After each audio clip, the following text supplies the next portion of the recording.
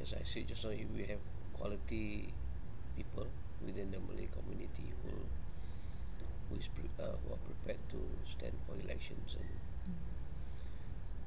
uh, especially in the opposition. Uh, so PAP we can already see for the last 50 years how they behave. Don't expect them, don't expect to see any change.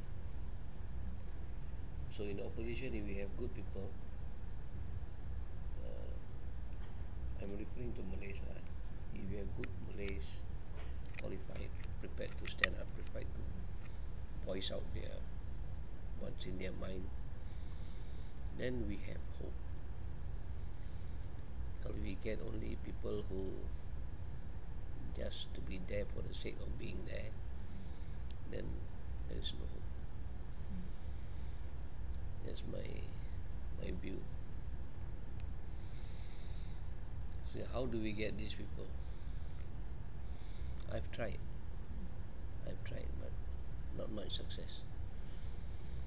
But that doesn't mean that I will just sit down and not try again. Dulu Pami Rais, no, he came to my house. First he came to the party and then Dr. Chi asked him to ask me for my opinion. So he, having spoken to him, he came to my house. Which I was just recovering from my illness. Kan. So I thought he would be a the pelapis because he was 44 years old, right? So I told him I'm 60 plus. Uh, he is uh, 44, so it will be nice.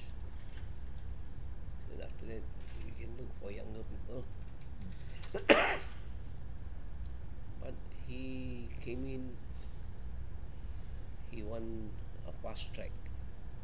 He wanted a fast track, you know. Come in, stand for election, win, and that's it. Not to struggle, build up. uh, put in hard work, slog, and so on. And then,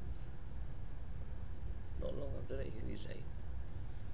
Then he went to NSP, I heard. And then he told me personally, he said, uh, sorry, I resigned, I did not uh, meet you, you know.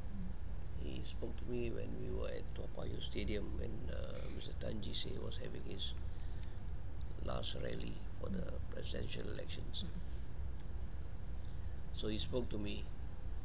So say later he will see me, but he never came. But he uh, he said enough. Then uh, he said he he has applied to join the NSP, and he laid three conditions to the NSP. First, he said he wanted to be in the CEC. They agreed. And he wanted to head the Malay Bureau. They agreed. I don't know how far it's true. And then the last is that he wanted to be the Malay candidate in Tampines. They agreed, he said. So he joined.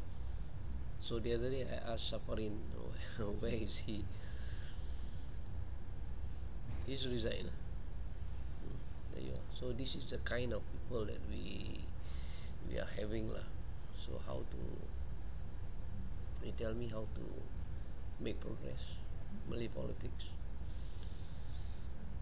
So uh, what I say, I still stand by it. We need good people to stand for elections because now the door is there for us.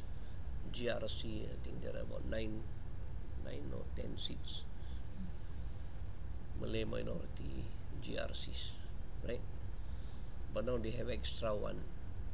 I mean, one GRC they ada dua eh, two two Malays.